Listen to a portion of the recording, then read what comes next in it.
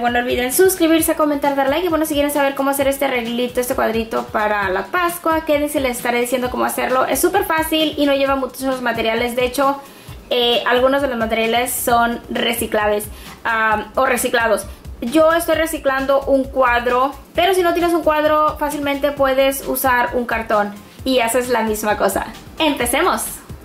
Ok, para esto voy a estar ocupando mi pegamento de silicón, tengo pegamento de barra, tengo esta que compré en Dollar Tree, pero lo voy a estar quitando los conejitos, tengo también mis tijeras, tengo calcomanías y voy a estar reciclando este que es un letrerito de navidad, esos que venden por ejemplo en el Dollar Tree, pero yo lo voy a estar reciclando eh, y tengo también papel decorativo. Así que empecemos. Esto va a ser súper fácil.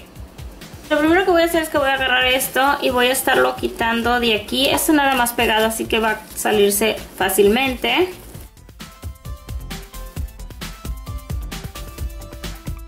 Y bueno, ya ahí ya lo tengo, entonces bueno, ya lo vamos a poner a un lado. Voy a estar agarrando el cuadro que viene siendo este voy a agarrar esto y el papel decorativo se lo voy a pegar así, simplemente con mi pegamento.